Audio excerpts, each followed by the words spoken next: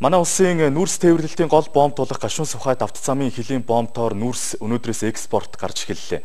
Эхний ээлжид зөвхөн Чингэлэгт 70 машин нүүрс тээвэрлэхээр боллоо. Нүүрс тээвэрлэлтийг шаардлага хангасан 3 компани хийхээр болсон байна. Монгол улсын шадар сайдаар ахлуулсан ажлын хэсэг өнөөдөр гашуун сухайд бомбтод ажиллалаа.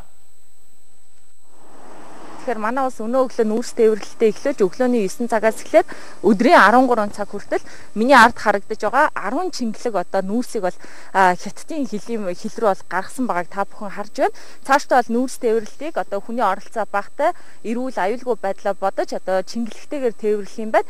Орох болон за гарч байгаа энэ машинуудад бол мэрэгжлийн хяналтын байгууллагын өгсөн үүрэг чиглэлийн дагуу ер нь бол ариутгал халдвар гүйцэтгэлийг хийж байгаа юм байна өндөр хариуцлагатай ийм л явж байна. Битүүмж энэ хамгаалт сайтай ийм явж байна. А тэрийг нөгөө тодорхой хүмүүс нь бүгд заавал зөвлөгөөгөр нөгөө юунд сургалт мөрөлтөнд суугаад бид хамрагдаад тэгээ тэгээ явж байгаа. Бид нар одоо урдаасаа орж ирээд буцаад гарах тохиолдолд энэ хилийн гайл дээр бидний одоо энэ хүмүүс зүүж бүх хэрэгслийг хурааж авч шатаах юм бэл.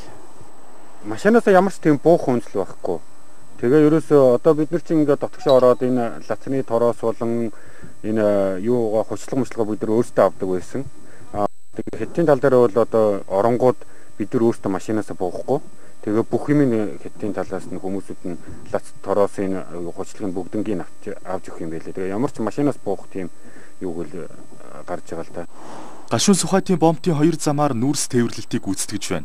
Энд хоёр ширхэг ариутгал халдвар гүйтгэлийн төхөөрөмж суурилуулсан жолооч нар гарах замаар өглөөний 8 цагаас 14 цаг хүртэл нэвтэрч, буцаж орж ирэхдээ өглөөний 8 цагаас 20 цаг хүртэл шалган нэвтрүүлэх юм а.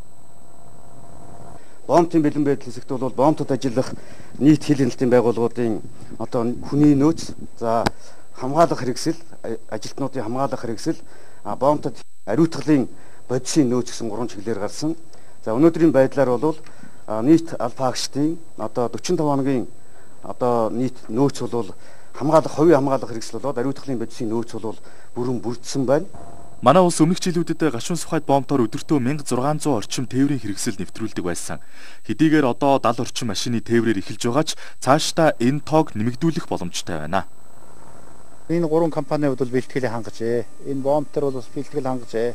Тусгаарлах байрууд гаргачжээ. Бид нар одоо сая үзлээ. За тэр жолооч нар одоо кабин дотор зайлшгүй явах хэвээр одоо багц байгаа тийм ээ. За тэр багц юмнуудаа бол авчээ. Хувц сонор бол байна. Ингээд хятадын талтайгаа тогтсноор бол манахаас одоо энэ машин гарлаа. Хилээр орлоо. Хятадын хилээр орлоо. А шууд энэ чингэлэгтэй одоо бол очиж штэ шууд чингэлгийн кранаар аваад буулгалаа буцаад машинаасаа буухгүйгээр буцаж орж ирэх ийм л одоо зохион байгуулалт хийж байгаа юм байна л да. Энэ бол зөв л байна. Нэмэх ёстой цаашдаа бол нэмэх ёстой. Гэхдээ нэмэхийн тулд яг одоо ийм л шаардлагуудыг л хангасан тэр компаниуд дээр л энэ зөвшөөрлөө өгнө гэж тэгж бодож байгаа. Өнөөдөр улсын онцгой комиссийн өндөржүүлсэн бэлэн байдлын нөхцөлд бол бид нар энийг бол задгаагаар гаргахаас эхлээд одоо контейнер чимлэг тэрээр гаргах нь аюулгүй байдал талаас туйлын чухал байна. Хятадын тал бол ер нь сүүлийн үед энэ э, орчны бохирдол гэдэг юм их ярьдаг болсон. Агарын бохирдлыг их ярьдаг болсон. Олон дахин одоо буулгаж э, ачхаар зэрэг нүүрсийн чанар гэдэг юм их ярьдаг болсон. А ер нь бол чимэглэг тээврээр тээх нь цаашдаа ер нь зөв юм байна гэдэг нь одоо ярьж байгаа. Энэ жил манай улс 42 сая тонн нүүрс экспортлж 1.4 их 80 төгрөгийн орлого олохоор төлөвлөөд байна. Бүгд найрамдах Хятад ард улсын өвөр Монголын өөртөө засах оронд ковид-19 салдуурын 75 тохиолдол бүртгэгдснээс 74 нь эдгэж, нэг нь нас барсан байна. Дөнгөн сая үзүүлсэн мэдээллийг Монгол улсын урд хэл гашуун сухайтын бомбтоос бэлтгэсэн бол одоо үзүүлэх гэж байгаа сурвалжлагыг Монгол улсын хойд хилээс